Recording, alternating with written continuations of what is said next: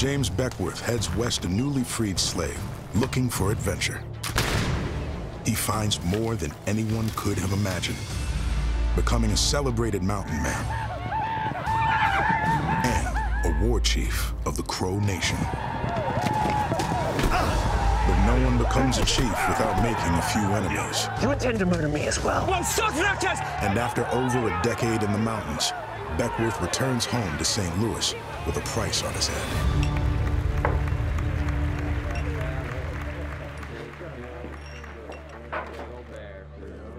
See you, sir.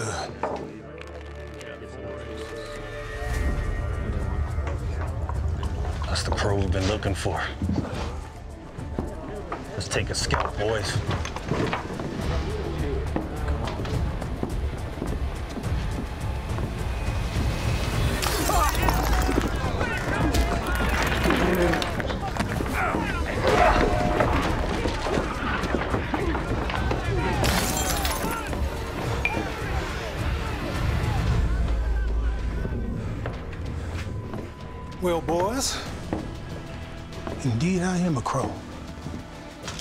My scalp that you want, then come and take it.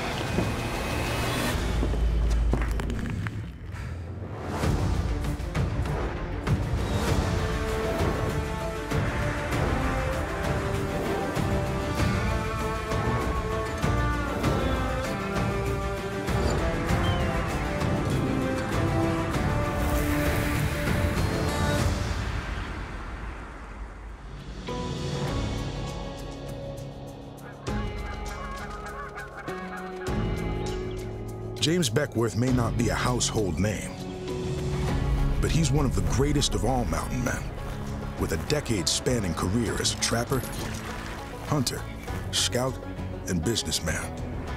Jim Beckwourth was a man who was literally all over the country, all over the West, had his fingers in so many different parts of that, that Western expansion experience. He accomplished such things as discovering the uh, Beckwourth Pass over the Northern Sierras, which uh, made it easier for immigrants going into California. He was just such an amazing man. But Beckwourth doesn't just wear many hats. He also lives multiple different lives. Born into slavery, he finds freedom in the wilderness beyond the Mississippi and a new home among the Crow tribe.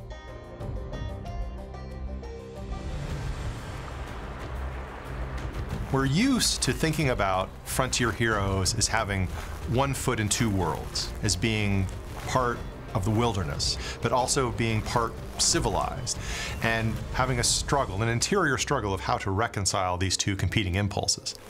It's very likely that Beckwourth was somebody who was negotiating three or maybe more worlds he saw the whole spectra of the West. He did it with an extreme sense of uh, humor, tremendous curiosity, a supreme intelligence, and supreme physical ability. So I see a guy that's constantly animated by his soul and his intellect and absolute courage.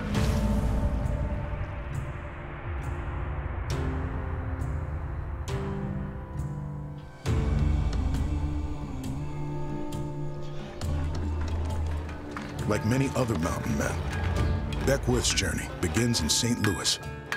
But unlike so many others who head west, Jim Beckwourth is African American and a slave. His father was a white plantation owner, and his mother was one of this man's slaves. Hey, Jim, we got four of these we're going to rework today. Yes, sir. Yet Beckwourth yearns for an opportunity to head west and follow the footsteps of the frontiersmen he sees daily in the workshop. That'll be 10 bits.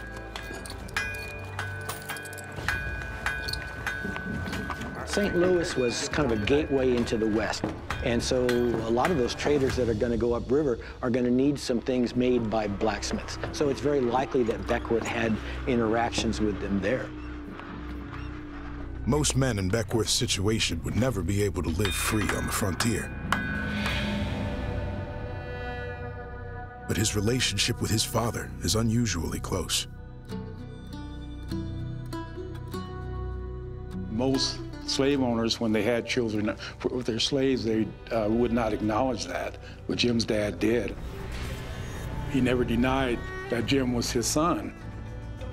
And he went to court and actually freed Jim and his two sisters. Having gained his freedom, Beckwourth wastes no time finding his way to the frontier, little suspecting that he's starting a life of extraordinary adventure. Oh, yeah. Beckwourth joins a fur company led by a legendary fur trader named William Ashley. Working alongside other young mountain men like Jim Bridger, Jedediah Smith, and Tom Fitzpatrick, Beckwourth quickly builds a reputation as a man with potential. Bridger and uh, Fitzpatrick and Jedediah Smith were all dumping into the experience about the same time. And I would imagine recruiting for a professional football team or baseball team, they're all alpha males, and so you're you're tagging each other and checking each other out. Beckwourth forms a lasting friendship with trapper Tom Fitzpatrick, who will one day become a frontier legend in his own right. And like Fitzpatrick, he quickly earns the trust and respect of William Ashley.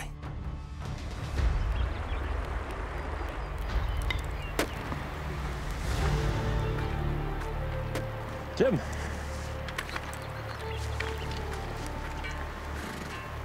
I spoke to General Ashley. He wants you to lead one of the trapper parties. I believe the general will be disappointed. It's my first trip to the mountains, Fitz.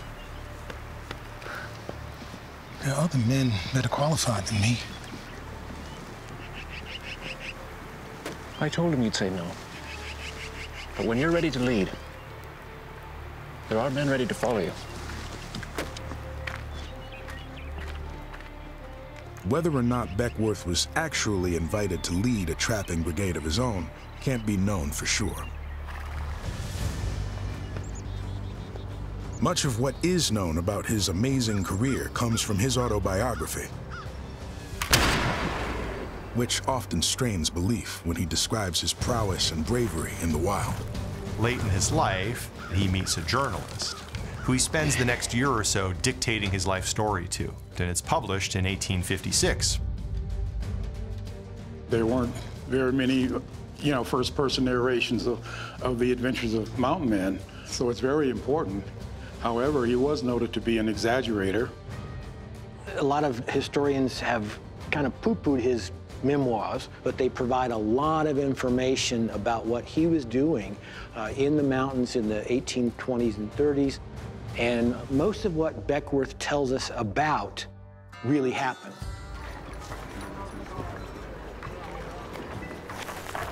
And in his fantastical memoir, Beckwourth reveals the events that changed his life forever.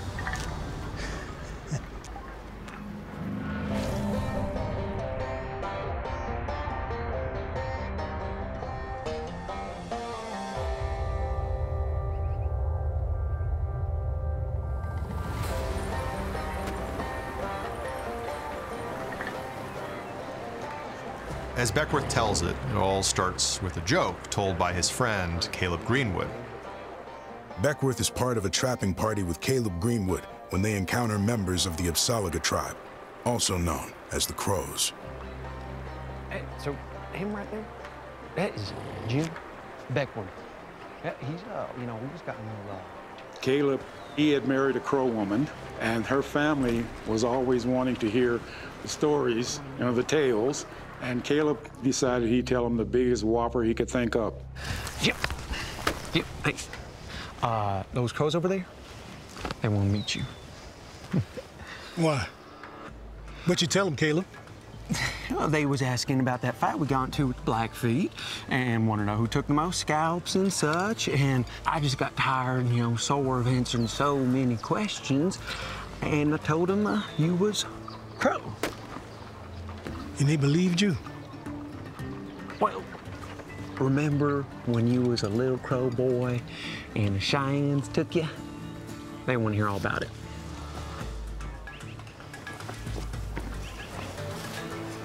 This isn't funny, you know. kind of funny. okay. just seems like a joke at the time, but Greenwood and certainly Beckwourth have no idea how that one moment of humor will fundamentally shape Beckwourth's life for the next eight years. Not long after Greenwood tells his tall tale to the crows, Beckwourth heads out to trap in Crow Country, breaking away from the brigade to work alone.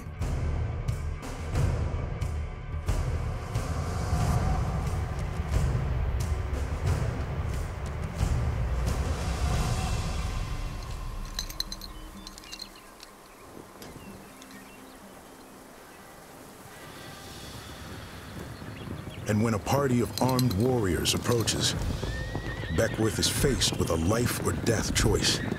Fight or surrender and hope for the best.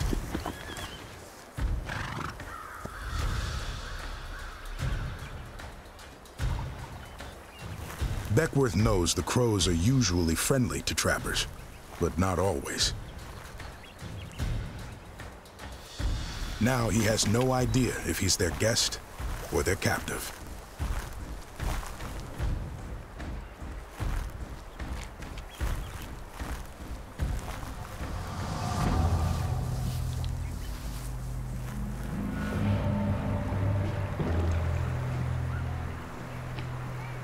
Beckwourth doesn't speak Crow, but it's apparent the Crows believe he could, in fact, be a long-lost member of the tribe. All these crows surround Beckwourth, and then one of the guys goes, oh, he's the long-lost crow. This is the guy Greenwood tells us about. And all of the women who had children captured surround him, and they're, they're looking him over, you know, looking at every hand. One of the ladies says, that's my son, that's my son.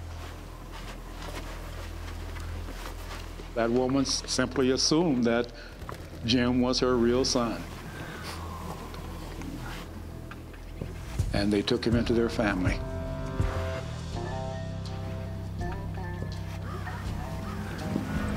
As Beckwourth relates in his memoirs, a Crow chief named Big Bull and his wife adopt him into their village. It's a remarkable story, and it's also convenient in a number of respects. We know that Beckwourth was in debt to the fur company, and that he wanted to strike out on his own as a free trapper. Obviously, having access to the Crow country as a member of the Crow would, of course, be to his benefit.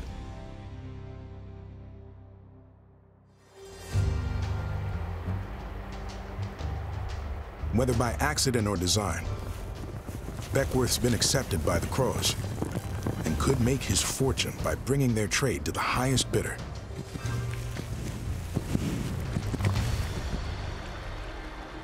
But to do so, he needs to earn prestige and influence among the warlike tribe by risking his life in bloody combat.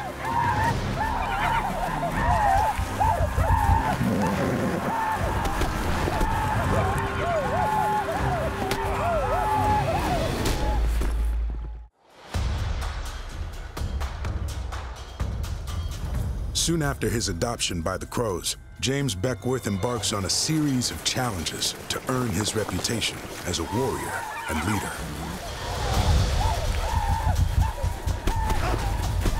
Beckwourth obviously was an alpha male, and when he entered the Crow, he entered a very martial world in which the only respect you could hold had to be based on your, your skills. For young men that wanted to achieve chieftainship, they had to count coup in four different ways. They had to touch their enemy with a weapon in battle and get away. Counting coup usually didn't involve killing your opponent. You go up to your opponent, you declare victory over them in some kind of a fight, and then you both live to tell that story. But proving physical courage is only one of the four trials Beckwourth faces to become a war chief.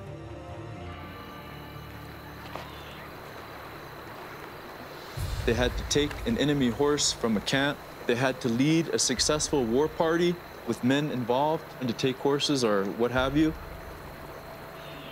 Horses became the primary source of wealth for native people because with them, you could do whatever you wanted. And they understood that if their rivals had horses and they didn't, then they would be at their mercy. Beckwourth has not only grown into a leader among the Crows, he has also learned their language.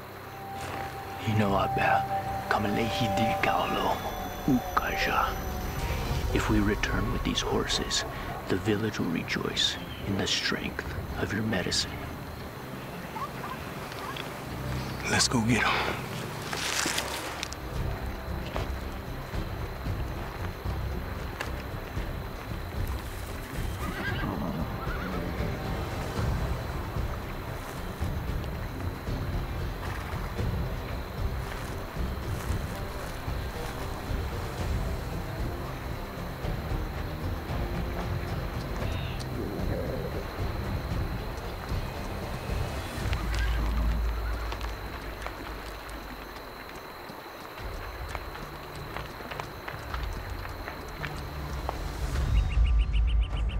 Now has a successful raid under his belt, and he continues to rack up coups.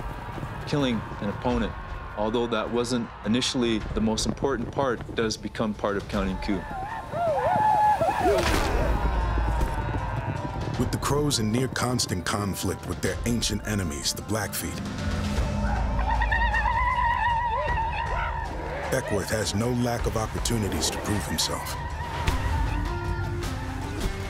Another way you could get coup was to pull a gun or a weapon out of their hands, a bow. Or you could become a successful leader in, in a war engagement.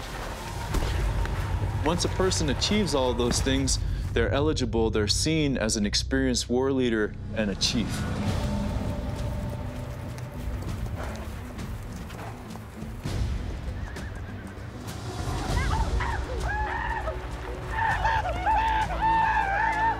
But as Beckwourth gains respect and esteem among the Crows, he never loses sight of the world he left behind.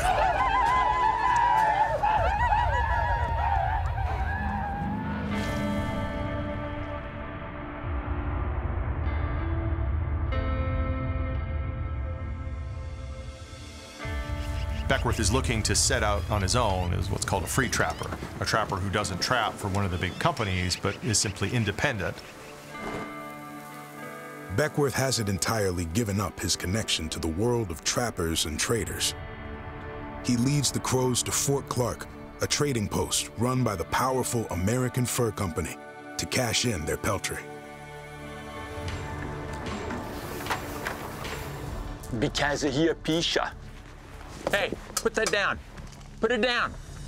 Down. Because of Hisha. I don't speak crow. Is it here? Hey, hey, put it down. Because of Hisha.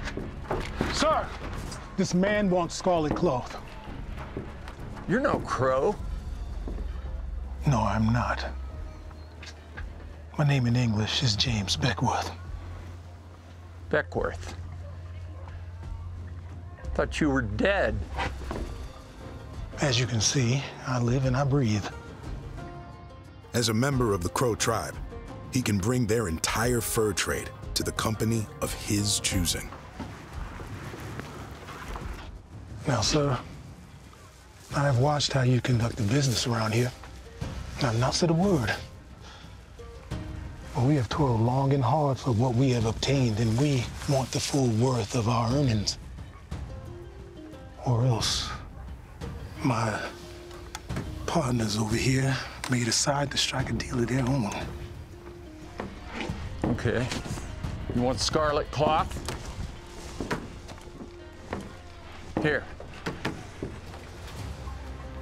He parlays that into becoming an agent for the American Fur Company, saying, look, I'll get all these guys to come to your trading post, and I'll get them to trap more, and you just pay me a little bit on the side.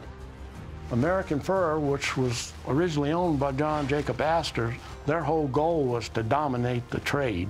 And American Fur had control of most of the fur trade in the upper Missouri.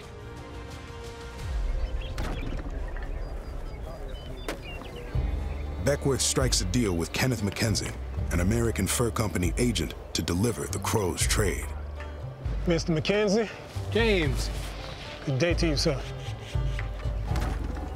Having made a deal with the powerful American Fur Company, Much obliged, sir. Thank you. I'll bring back all the fur the crows can trap. Excellent. Beckwourth uses his influence as a war chief to persuade the crows to trap beaver instead of raiding their enemies. For a while, he and the crows are able to bring in large quantities of beaver furs. Yet the truce is short-lived. Before long, violence between the crows and Blackfeet resumes. And as a war chief with a reputation to defend, Beckwourth joins in the fighting with a will. But in this battle, Beckwourth meets someone who will change his life.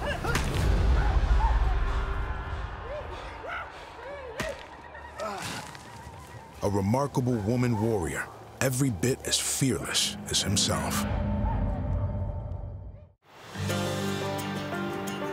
Living as a member of the Crow Nation, James Beckwourth is drawn deeper and deeper into war, despite his efforts to focus on trapping and making money.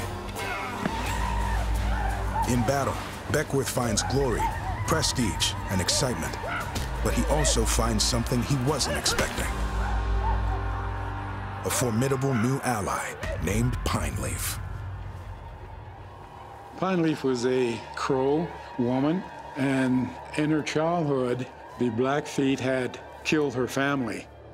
So she took a vow that she would not marry until she had collected 100 Blackfeet scalps. I wouldn't want to arm wrestle even the average Crow woman. They were powerful women, but Pineleaf apparently was an exceptional and a dedicated woman warrior. And while Jim was there, he was absolutely enchanted with her.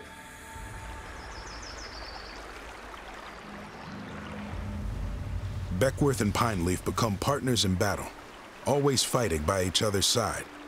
But Beckwourth wants Pineleaf to join her life to his. Defeating the Blackfeet will not be an easy task. Has your medicine told you if we will return victorious? I believe we will. And if we escape death and return safely, will you marry me then? You know my vow. Do you suppose I should break it? And fail to avenge my brother's death? Of course not. But my medicine has never lied. And it tells me that I must marry you. And in that way, I will never fall in battle. I will marry you as you ask. Once we return. And the pine leaves turn yellow.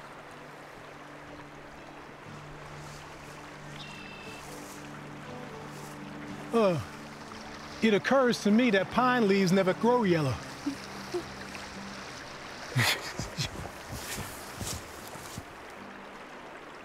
There's the question of whether pine leaf really does exist. A lot of tribes have stories of women who were warriors. The Comanche, the Gros Ventre, the Crow, of course. Uh, the Gros Ventre person I mentioned was known as Woman Chief, and she is captured by the Crow in her teen years. And a lot of historians say that this Pine Leaf character might actually be the woman chief person. It's hard to say. You know, you've got to filter through, you know, Beckwourth's story and, and kind of pick a side. Beckwourth and Pineleaf make a fearsome pair on the battlefield. And as the years pass, they grow closer and closer. With a reputation for bravery and even a potential wife among the Crows, Beckwourth's new life on the frontier is nearly complete. But that life of freedom is abruptly challenged by the unexpected arrival of an old friend.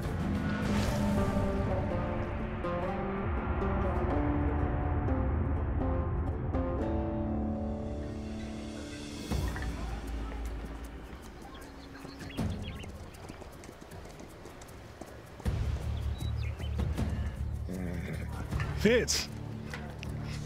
Beckwourth. oh. I'd heard you'd gone, Crow. But It's still hard to believe my eyes. So, what brings you here to Crow Country? I'm uh, showing these gentlemen what wonders can be found west of the Mississippi. Sir William Drummond Stewart. This is Jim Beckwourth, as excellent a hunter or trapper as ever lived. Among Fitzpatrick's company is an important man, Sir William Drummond Stewart, who's a Scottish military man who spent years adventuring across the American West. I wouldn't have taken you for a crow, sir. My father's a crow. My brothers and sisters here are crows. I suppose that makes me a crow as well. What Beckwourth doesn't know is that some of his Crow Confederates notice something about the horses that Fitzpatrick and his party have with them. Those are horses that had been stolen from them by the Cheyenne in a recent skirmish. One of Beckwourth's Crow allies sees a horse that belonged to his father, who was slain fighting with the Cheyenne. And worse, the warrior believes Fitzpatrick's men fought alongside the Crow's enemies. Come on, you two, come on. Fitzpatrick accompanies Beckwourth and his braves back to the Crow village, but Beckwourth is unaware of the growing tension as he catches up with his old friend. Beckwourth and Fitzpatrick came up together in the fur trade, but now they find themselves on opposite sides of the business. Beckwourth works for the American Fur Company, whereas Fitzpatrick is one of the owners of the Rocky Mountain Fur Company. So these are friends, but now, because of their business associations, rivals. There has to be some underlying tension. Seems you've uh, made a life for yourself here, Jim. How long's it been? Four, almost five years. I mean, they see you as a leader. That's clear. Well, I mean, they they listen to you. Sometimes they do. It's a hard life, Fitz. I want to hunt and trap and sell my peltry. But scarcely have I laid down my war club when I find I must pick it up again. You know these people. They're not long for this world anymore. But you can come back. With us. My body is here, amongst the crows. Sometimes. My mind is very far away.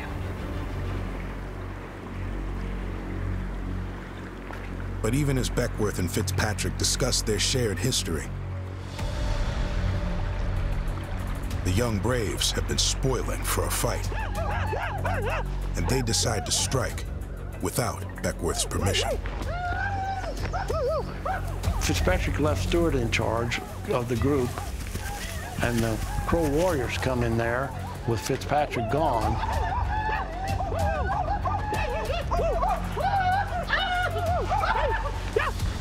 What do we owe the pleasure of this unexpected visit? You know how bad. Ba amale walaka ko uwawajia baku chuma. Stewart doesn't offer any resistance because, for one, he's outnumbered, and two, he was afraid that if he did try anything, they'd all get killed. I'll tell you this only once. Leave this place now.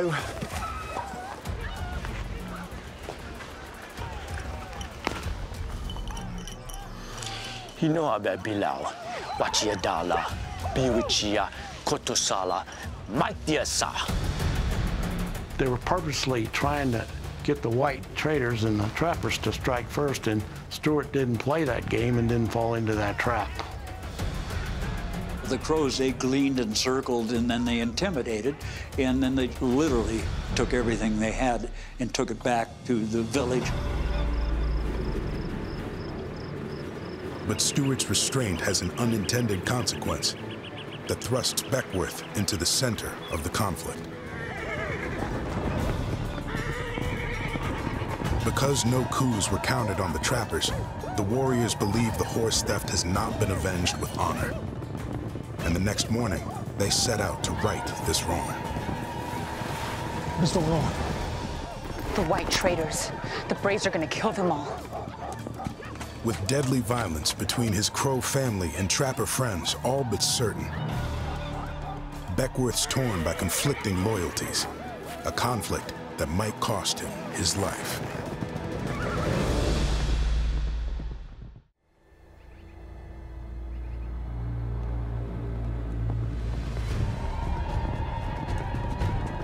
Visit from an old friend, Thomas Fitzpatrick, throws James Beckwourth's life with the Crows into chaos. A group of young Crow warriors believe Fitzpatrick is responsible for the deaths of their fathers and brothers.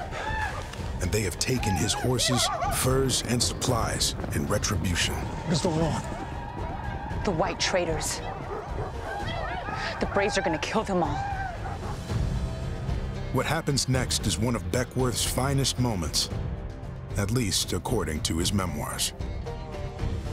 In most versions of the story, Fitzpatrick negotiates with the Crows to return his stolen property. But that's not how Beckwourth tells it. Jim? Fitz, where your men? All dead, I expect. Do you intend to murder me as well? What you're talking about? My men are running for their lives down the river. Your crows intent on killing them.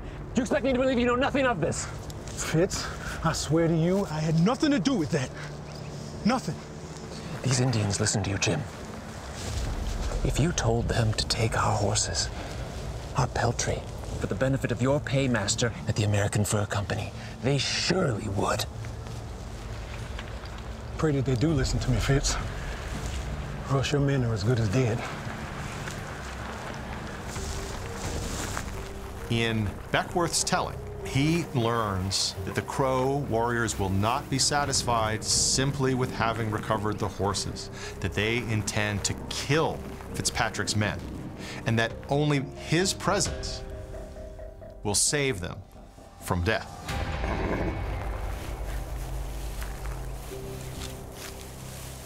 Stay here in the village. My father will ensure that no harm comes to you. Where are you going? May be going to my death.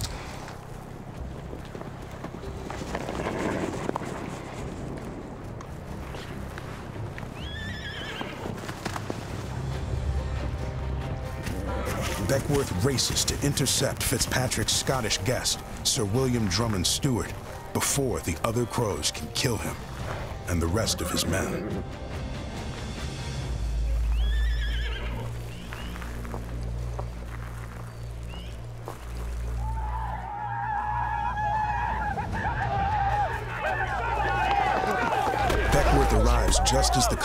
Confrontation is about to turn bloody. Hold yourself! Hold yourself! Hold yourself! Hold yourself right now! Do you wish these whites to live? They killed my father! After you have killed me, you can march over my dead body and kill them. Not before. Not before. You better come with me, and you better come with me now. I will go with no wretch. Beckwourth inserts himself into this conflict and orders Stewart and the other man to line up behind him, thereby sending a signal that they're in his care. He's captured them and they have his protection. I will go by no bloody rascal, and any man who will live on such riches is a bloody rascal! But Stewart, according to Beckwourth, doesn't want to do this. Stewart thinks that Beckwourth has orchestrated the whole thing. In fact, Stewart wants to shoot Beckwourth for this apparent treachery, not knowing that if Beckwourth dies, Fitzpatrick Stewart and all the other men die with him.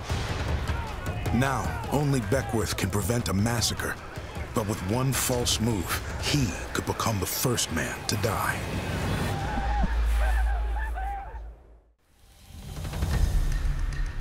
You better come with me now. I will go with no wretch. And any man who will live on such riches is a bloody rascal! James Beckwourth is caught literally between his Crow family and his trapper friends. And there may be nothing he can do to prevent a violent collision. You can come with me, or you can stay here and die. In Beckwourth's recounting, Stewart is highly suspicious of Beckwourth because of his association with the Indians. Now, that's certainly possible. prejudice undeniably existed at that time, and maybe Stewart would have been more likely to fall prey to it, having been more of a tourist in the American West than an inhabitant. Fine. I shall go with you. It's Beckwourth who is, in fact, their hero. He's saving them. Let's go! By inserting himself into the conflict, by making sure that the other crow see him riding with Stewart, he's saving their lives because the other crow will interpret that as them being his prisoners and therefore under his protection.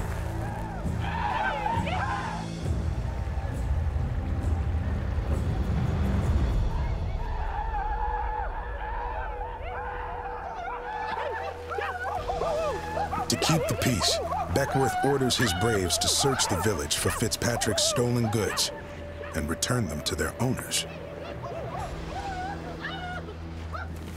Fitzpatrick was not a happy man, and he was under dire threat. And the only reason they probably weren't upended and killed is because of Beckwourth.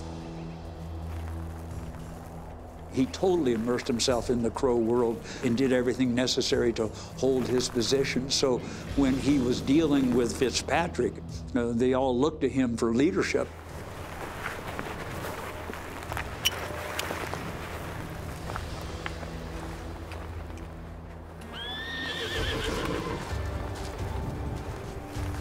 Though Fitzpatrick gets most of his property back, he blames Beckwourth for instigating the nearly fatal conflict.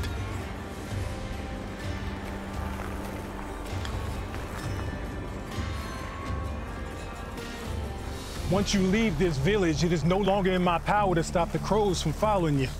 Oh, not in your power, is it? Ride for three days without stopping to camp. That should put you out of reach.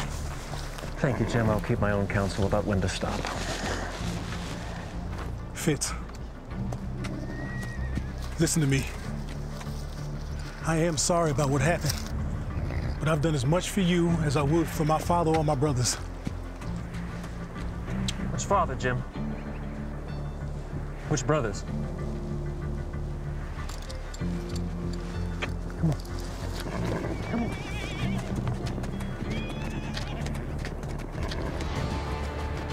Beckwourth is at a crossroads.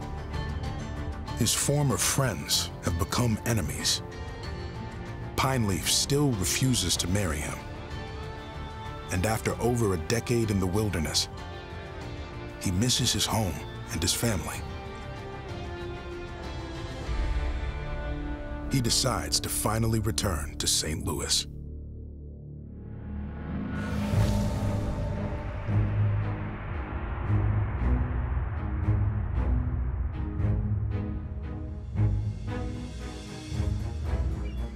Well, St. Louis has certainly grown quite a bit by that time, from the time he left in 24.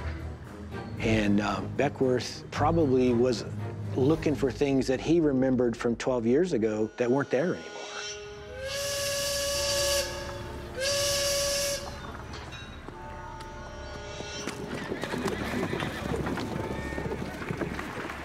Beckwourth, a man who has spent his life crossing between different worlds, may no longer have a home in any of them.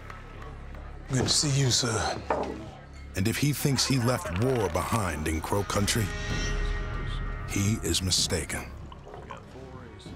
That's the crow we've been looking for. Seeking revenge for his humiliation in Crow Country, Fitzpatrick sends assassins looking for Beckwourth, and they find him during the intermission of a play. Let's take a scout, boys.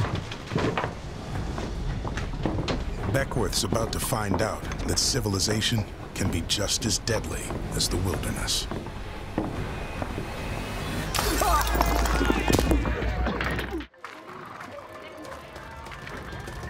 Let's take a scout, boys. The bad blood between James Beckwourth and his former friend, Tom Fitzpatrick, has followed him home to St. Louis.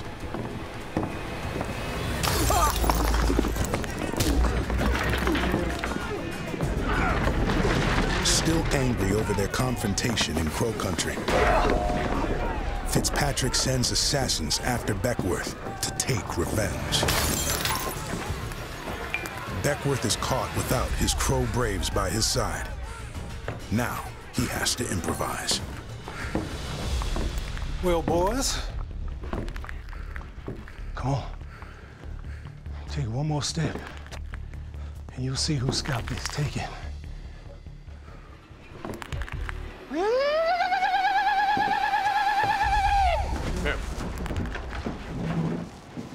Boys, the party's over. The local sheriff stops the fight before it can go any further. And Beckwourth knows that if he pushes it too far, he could wind up in jail. No trouble here. These gentlemen and I were just having a friendly conversation.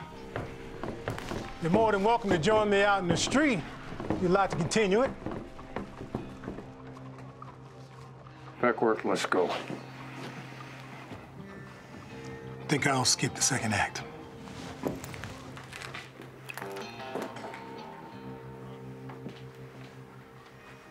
It's a boring play anyway.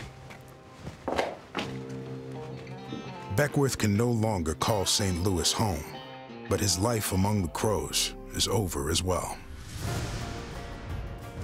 In his life, it came a time that he wanted to change because he was a very adventurous uh, person and he wanted new adventure. Beckwourth will write many more chapters in his story over the next few decades, always pushing beyond the frontier, searching for a new world to conquer. He goes and works with the Army in the Seminole Wars. He ends up in the gold rush running a store. He finds a pass across the Sierra that helps immigrants make it. I mean, this guy is just going, going, going, and constantly finding some new way to impact the world around him. I think for those of us contemporary Crow Indians who know about his story, there's a great deal of respect and admiration for him. This was the last gasp of the Crow Nation. They were only within a generation or two not be able to live this life anymore. He would have been one of the singular figures of that last epic that played a major role in the tribe's uh, survival. The whole idea of the American West, the whole idea of the frontier is a metaphor for all of us to get beyond the familiar, to find the complete capacity of what an individual's capable of doing. Beckwourth, more than any other person, sustained that. He put so much effort into this country's expansion. He was a real part of that. I think he should be remembered as one of the uh, West heroes. He was a hero.